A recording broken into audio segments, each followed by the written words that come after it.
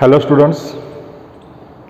In previous video, we learn about Rutherford's atomic model and its major drawback as well as dual nature and emission spectrum for hydrogen atoms. According to Rutherford's, a nucleus is present at the center of an atom while electrons are revolving around the nucleus. These orbits of a Rutherford atom is not a stationary and hence electron radiate emission as well as energy acquire a spiral path and finally follows or falls inside the nucleus. This Rutherford atomic model does not give any information regarding with the distribution of electrons and energy of electron.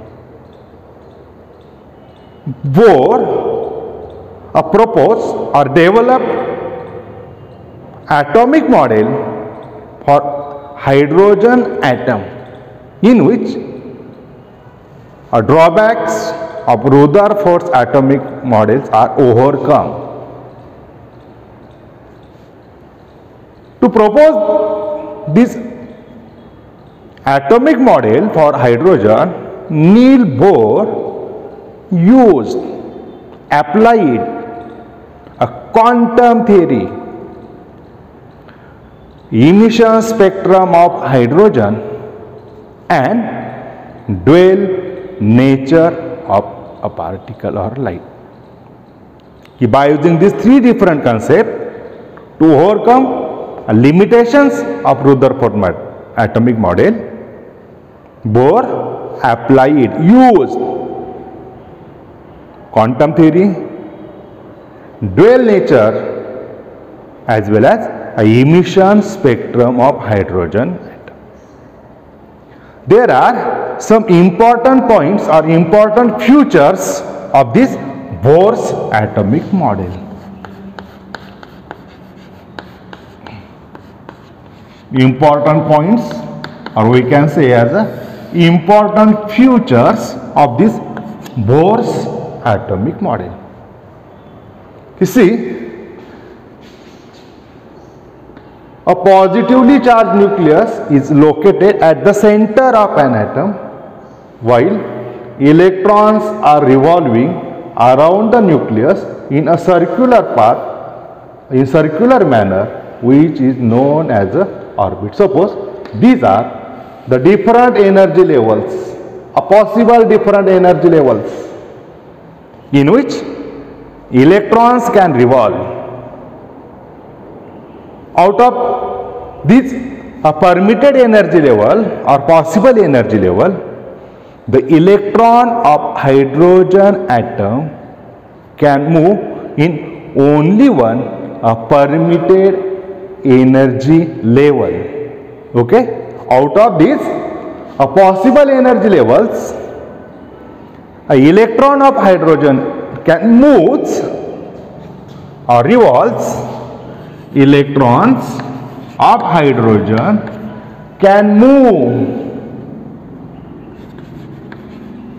or revolves in only one permitted energy levels.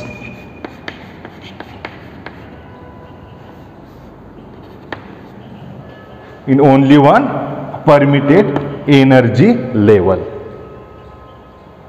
This permitted energy level is known as orbit or a stationary energy level. Orbit or a stationary energy level. Okay? This orbit or stationary energy level is denoted by or represented by a principal quantum number denoted by small n which has a values like 1 2 3 etc etc and this principal quantum number will denoted by letter capital K, L, M, N etc etc. That is energy level is known as a orbit or stationary energy level represented by principal quantum number like 1, 2, 3 or later K, L, M and N. See this diagram. A first energy level nearest to the nucleus is denoted by letter 1.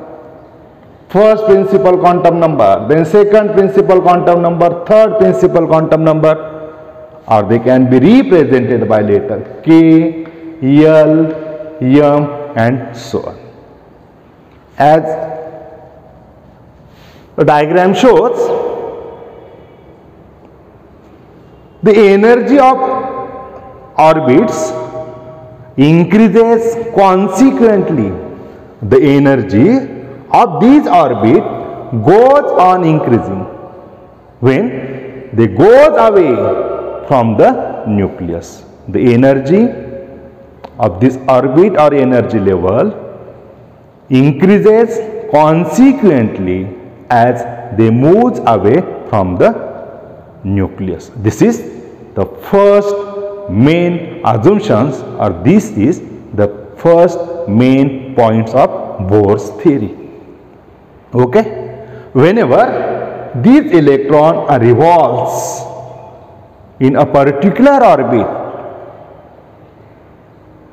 its energy remain constant energy does not changes whenever suppose it electron revolve in first orbit its energy remain constant if it revolves in second orbit the energy of electron in second orbit uh, remain constant it does not increases or it does not decreases and hence as the energy remain constant these orbits are called as a, a stationary orbits.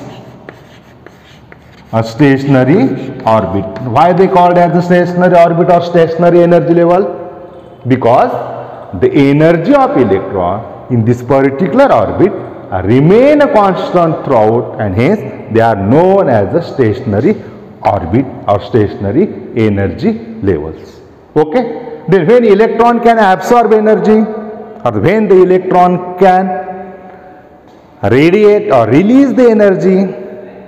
See here, the energy of first orbit is less than energy of second orbit which is lesser than energy of third orbit.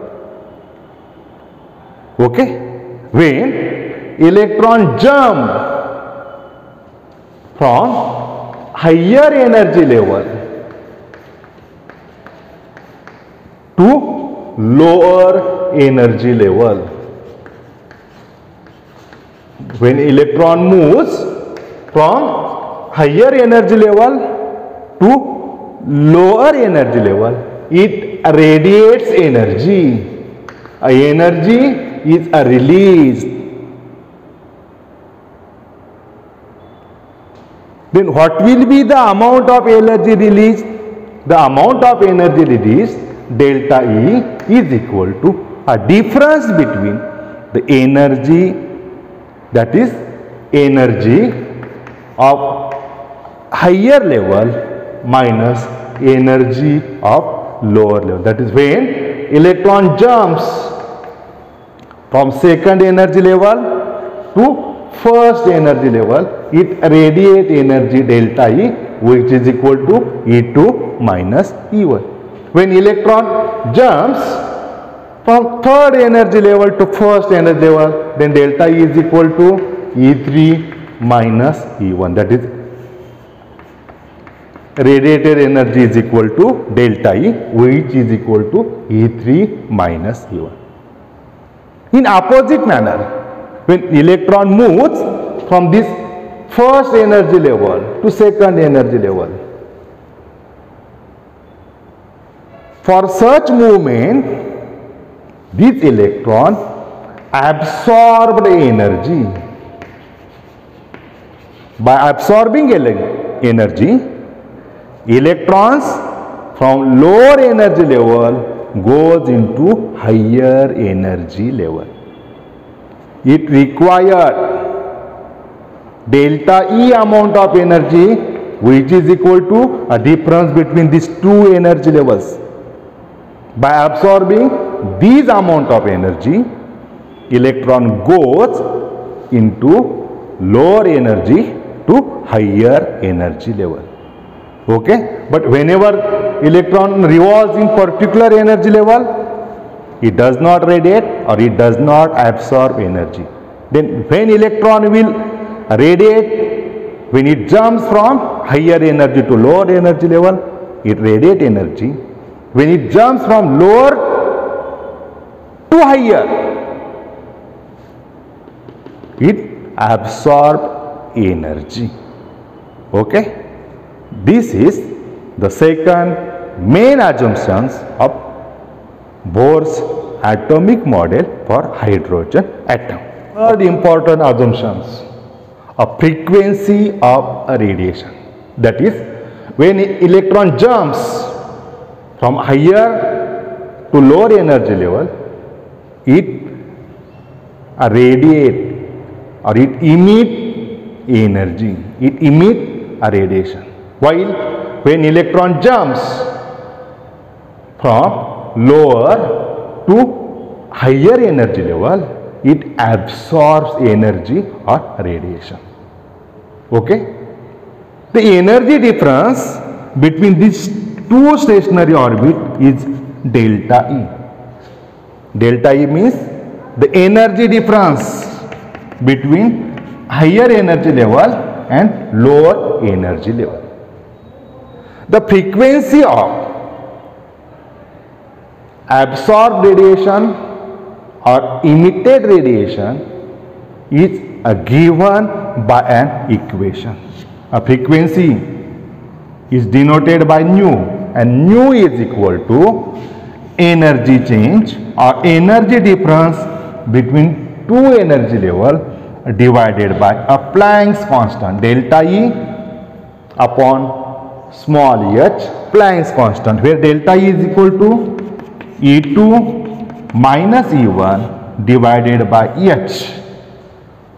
This equation gives the frequency of emitted or absorbed radiation. Nu is equal to E2 minus E1 is upon H is called as Bohr's a frequency a rule that is a third assumption of Bohr's theory gives us a frequency a rule. The four important assumptions out of many possible energy levels a electron can revolve or electron can move in those orbits if there are four energy levels one electron is present out of this four energy level electron can move in only those permitted energy level where its angular momentum angular momentum of electron is equal to n into h upon 2 pi. That is when angular momentum of electron becomes equal to this value.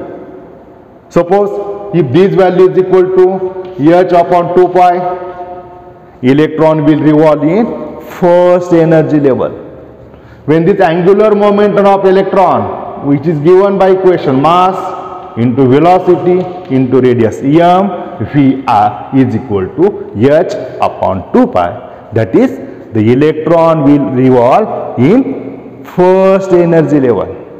When this value becomes equal to 2 into H upon 2 pi, 2H upon 2 pi that is H upon pi, electron will revolve in second orbit, second stationary level and so on. That is the electron can move in only those orbits where its angular momentum becomes n into h upon 2 pi. That is, uh, these assumptions gives the location of electron in a particular energy level where its angular momentum becomes equal to these factors. Okay? These are important features given by Bohr's while he prepared or he suggests the atomic model for hydrogen atoms. Limitations of Bohr's model of hydrogen atom. Bohr developed or proposed atomic model for hydrogen atom which is also applicable for the hydrogen like atom which contain only one electron. These model have a certain uh, limitations, drawbacks. These drawbacks are this atomic model fails to explain a finer a spectral lines of hydrogen atom. That is, it fails to explain a finer hydrogen spectrum when observed under high resolving a sophisticated a spectrum. That is when we observe this hydrogen spectrum under high resolving spectrum, high resolving spectrum, the spectrum lines are splitted into number of fine lines and it fails to explain a finer spectral lines of hydrogen atoms. This model also fails to explain a spectrum of atom other than hydrogen. That is this model does not give any explanation about helium atom spectrum, lithium atom spectrum. It explains only hydrogen spectrum. It fails to explain the spectrum other than hydrogen atoms. Then it fails to explain Zeeman effect as well as the Stark effect. Then what do we mean by a Zeeman effect? A Zeeman effect means a single spectral line, a single, a spectral line can be splitted into a number of lines. Number of lines when a magnetic field is applied. A magnetic a field is applied that is the splitting of a spectral line into number of lines in the presence of a magnetic field is called as a Zeeman effect. Why such phenomena will observe Bohr does not give any satisfactory explanation and hence it fails to explain a Zeeman effect. This single spectrum line can be split into number of lines in the presence of electrical field. Like magnetic field, when an electrical field will be applied, a spectral line can be splitted into a number of lines. These effects are known as a Stark effect that is a splitting of a single spectral lines into number of lines in the presence of electrical field is known as the Stark effect. It also fails to explain this the Stark effect.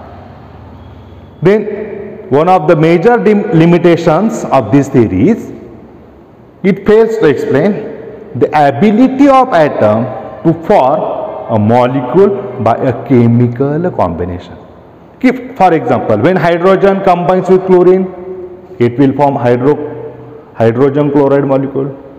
When it combines with oxygen atom, it can form H2O molecules. This Bohr's atomic model does not explain ability of atom to form a such molecules by a chemical combination process. Hence, these are important drawbacks or limitations of Bohr's theory. A result of Bohr's theory. Your results of Bohr's atomic model of hydrogen atom. A first a important result of Bohr's theory is it gives a stationary state of electrons. That is, electron in electronic energy level is a stationary. This a stationary state of electron is uh, represented by quantum number, a principal quantum number that is main energy levels. The stationary state n is equal to 1 that is electron is present in first stationary state, first orbit, first energy level. When n is equal to 2, second orbit, n is equal to 3, third orbit and so on. Okay. That is the result of Bohr's theory is a stationary state of electron is represented by a principal quantum number that is n which is equal to n 2 3 4 etc etc okay and then second result of this theory is the radii of stationary orbit is given by an equation. That is a radii of stationary orbit Rn is equal to a0 into n square where n is equal to again the principal quantum number. When n is equal to 1, 1 square that is radius is equal to a0 a0 is equal to a constant which value is equal to a 52.9 per million. Okay? That is the radii or radius of stationary orbit, stationary state is given by an equation. Rn is equal to A0 into n square. Similarly, the radius of nth orbit that is when principal quantum number n is equal to 4 then in fourth orbit when it is equal to third third orbit and so on that is the radius of nth orbit is given by equation Rn is equal to a 52.9 into n square divided by atomic number z.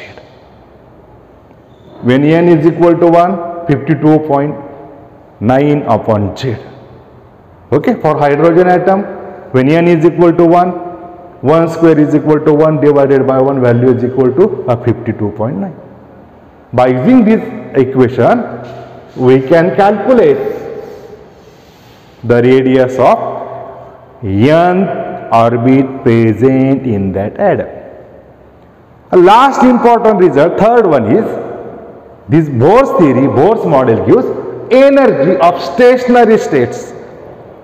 A stationary orbit by an equation En is equal to minus RH 1 upon En square. By using these equations we can determine, we can calculate the energy of stationary orbit where RH is nothing but it is the constant called as a Rydberg constant having value equal to 2.18 into 10 raised to minus 18 joules.